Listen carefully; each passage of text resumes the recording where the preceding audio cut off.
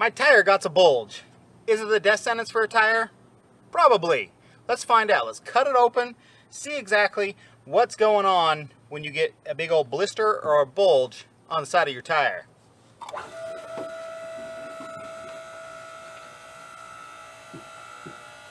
I'll give you guys kind of a close-up. It protrudes almost a quarter of an inch, the three millimeters or so. And you can see it starts, it starts about here and it goes, it's essentially the whole sidewall. Um, I know what's going on, but what we're going to do is we're actually going to cut this section out and I'm going to show you the different layers and what is actually happening. But I just wanted you to get a good picture before we start cutting it up exactly what's going on. Because as soon as I let the pressure out too, it's probably going to deflate back down and, and look normal. But before we do that, can we resist? Can we resist slashing a tire? Ah, I don't think we can.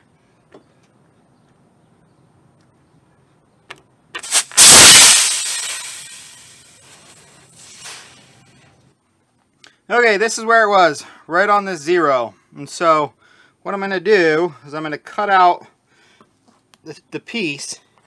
If you don't know how tires are constructed, the sidewalls are actually really thin. There's actually no wires in the sidewall. There's just nylon cords, and you'll see in a second. And you got your steel belting, your radial belts, they're actually on the top. And they only extend to about this line, almost the line that goes around tires where the tread stops is about where they stop. So we'll come out here. We're going to come out kind of far.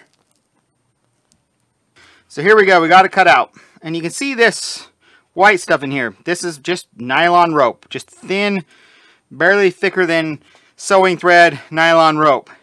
And if you look, you can see it coming down and then you see two layers. So what's what's going on is they actually have it coming down towards the bead, and then on the bead you have these these uh, metal wires. This is actually the, the cordage out of a tire. And the this uh, rope wraps around like underneath them and over the top and then goes back. And they fill all that in with rubber. So they lay down, we'll have like a, a casing, just a, like a form, and they'll lay down a layer of thin rubber. Then they'll lay down the cordage around through. They'll lay a piece of rubber in between it and then they'll lay another piece of rubber on the top they put it in and they vulcanize it and cure it and everything but what causes these blisters is I have a puncher that has went through essentially this first layer of rubber in between so you got one layer of rubber for the inside then the cordage another layer of rubber and then more cordage and they kind of sandwich together, but they glue together, they bond together. So what's happened is I've created a puncher on just the inside rubber layer. And I actually have it here. I just barely missed it, which is lucky.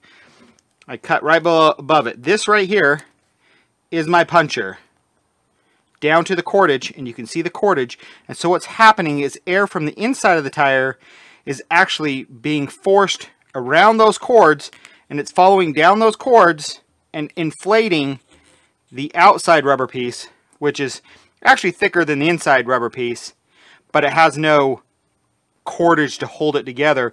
So this is going to slowly peel away, and we can start cutting it open and peeling it back, and I can show you. But it's going to slowly start peeling away and just get bigger and bigger and bigger, and it doesn't take much just to make it pop. But how I got this puncher was from hitting a pothole. So what happened is I hit a pothole, the tire compressed so much that it hit the rim and fractured it. So it just hit so abruptly and so fast, it fractured it. And you can actually see, see if I can get you guys in there, my cords are actually ripped. It actually ripped the fiber cords.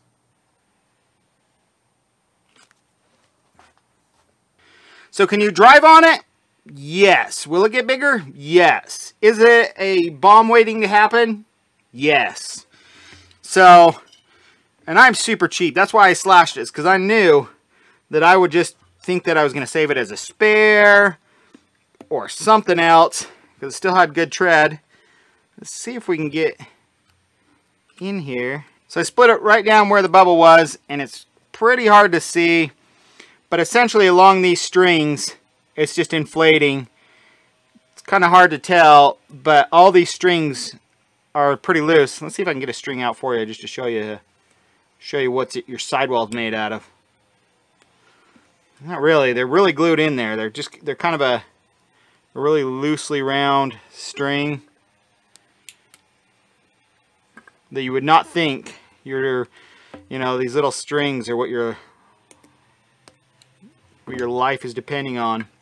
But what happens is every time this tire goes around, it flexes and the sidewall just bulges every rev revolution it goes around and it's just going to continue and grow and grow and there's some horrifying pictures of bulges just you know things just popping out the side. And if you have any dry rotting or dry cracking of course it's not going to help but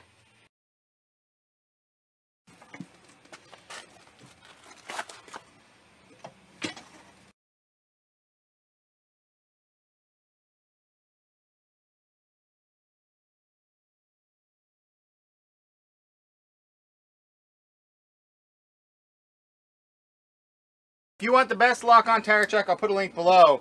I'm able just to lock it on and then you can seat the bead by hand.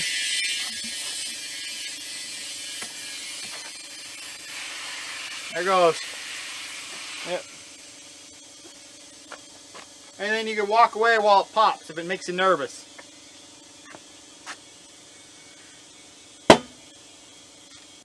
Ginger wants you guys to see what's inside of a tire. Here, hop off. You're too eager. Get off. Hop up, hop down. There we go. So we got the inside of the tire here.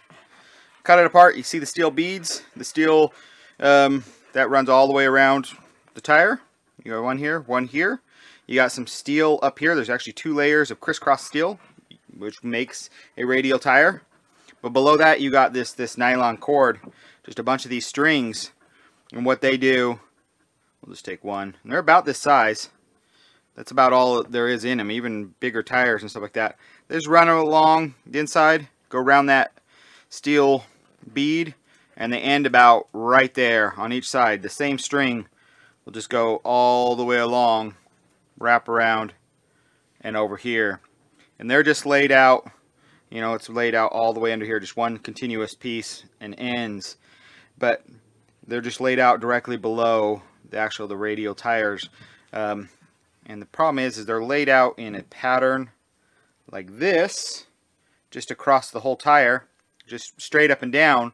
So once you get a little air introduced into these strings, the air will flow down them and just inflate essentially a bunch of little balloons all the way along them, but it'll also push up under the uh, under the steel wires and inflate, and it'll probably actually inflate on the inside where you can't see, but it'll actually, after, if enough heat and pressure comes along the tire, and every time it actually goes over, there's a little bump, it will actually start separating the, uh, the nylon from the steel cords, and that's where you see the, uh, the whole outside of the tire, you know, the road alligator come off and laying on the freeway, and you just lose your, because you'll see sometimes tires, I've had tires that have blown out, but the, the casing itself is still completely intact and still holds air. I just have no tread left, and that's because all the strength just comes from these little ropes in here in a radial tire.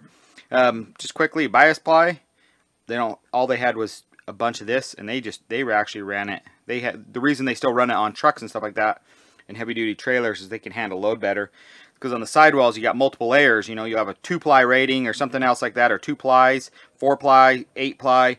It's because they just kept layering down plies of these strings and rubber in crisscrossing pattern, and that gives the sidewalls a ton of strength, and actually gives the tread pattern a ton of strength. They just don't, it just doesn't wear as nice or ride as nice as a radial. So there you go.